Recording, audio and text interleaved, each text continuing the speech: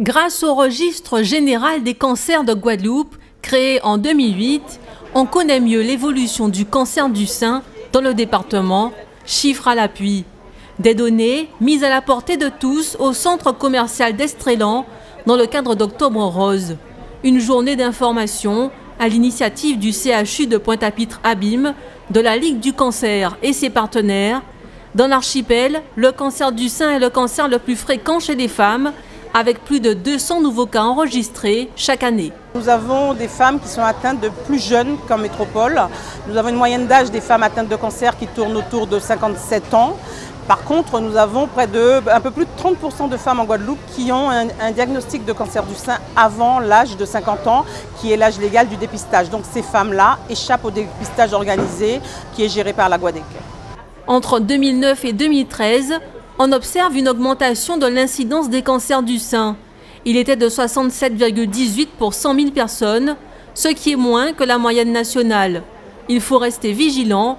Le dépistage précoce reste le meilleur moyen de contrer la maladie. Il permet une guérison dans plus de 90% des cas. Les taux de dépistage euh, sont, euh, tournent autour de 56%. Ce sont des chiffres de la Guadep hein, que je, qui sont à vérifier, mais ils tournent autour de 56%. Nous avons encore trop peu de femmes qui, euh, qui font ce dépistage, puisque ce dépistage existe en Guadeloupe depuis 2004 et concerne toutes les femmes de plus de 50 ans. On a quand même un travail à faire, puisque comme je vous l'ai dit, nous avons près de 33% de femmes de moins de 50 ans qui échappent à ce dépistage. Donc il y a une information, notamment quand il y a des antécédents familiaux, pour que ces femmes se rapprochent de leur généraliste pour avoir un dépistage euh, euh, plus, euh, et un suivi plus précoce. Même si elles ne connaissent pas la pathologie sur le bout des doigts, les femmes sont sensibilisées.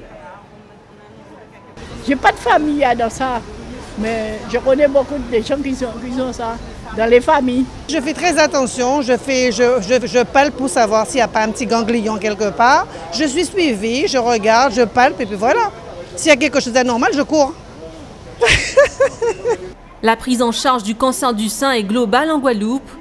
On compte sur le TEPSCAN et le cyclotron pour l'améliorer.